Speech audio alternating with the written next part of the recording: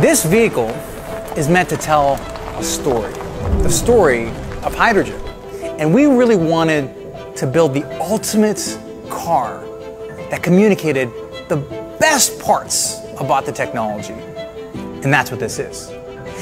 This vehicle has the ability to travel over 1,000 miles range.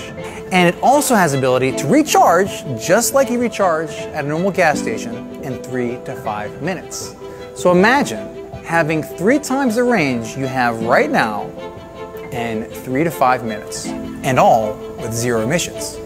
And that's just one piece of what hydrogen can do. You see, our company is all about bringing clean energy to market and doing it in an exciting way that gets people to learn about different technologies, such as hydrogen. Most people don't know this, but a hydrogen vehicle is in fact an electric vehicle. The difference is how you store that electric energy. In one way, you're storing it in batteries, that's a battery electric vehicle. In another way, right here, it's stored in the hydrogen molecule itself. You see, hydrogen likes to bond to things, especially itself. Hydrogen as molecular form is H2, two hydrogen atoms. On, on its own, it's just hydrogen. But together, it's a molecular form, H2. And when you pass it through a fuel cell, it separates the molecule into those two requisite atoms. And the process releases the electron that was binding it together.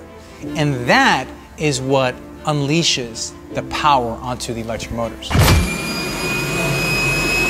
The benefit, of course, is you don't have to deal with the weight penalty of a battery system. You can have a vehicle that is much more efficient because of that. And what that really means is, the lighter something weighs, the more efficient it can be. And this vehicle, because of its low weight, actually has 160% more efficiency than a battery powered vehicle. We're talking about a space technology, right? Well, if you're going to the moon or other planets, you need range. This car can go over 1,000 miles range.